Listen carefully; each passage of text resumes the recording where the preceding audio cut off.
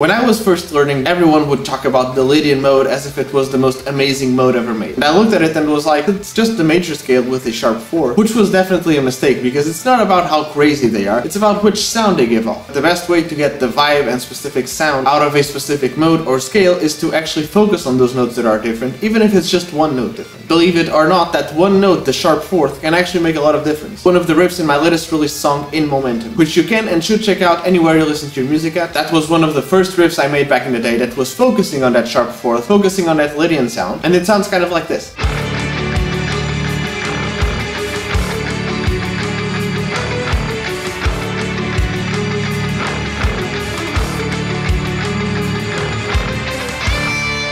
Also implemented the flat 7th to get that Lydian dominant sound, Simpsons in style, but also some faster scalar passages inspired by Back to the Future. In case it wasn't obvious already, go check out my latest released song, In Momentum. If you have any favorite riffs that really pass on that Lydian vibe, don't forget to leave a like, comment, subscribe, follow, and stay tuned for more because I'm releasing new songs every week and I'm releasing new videos every day, twice a day.